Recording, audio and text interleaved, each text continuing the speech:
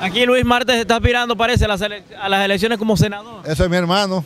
Yo lo apoyo a él también. Como senador, a Luis Martes. Lo que sea. A lo que él aspire. Yo lo apoyo. A Luis Martes. Yo apoyo a todos, a toditos.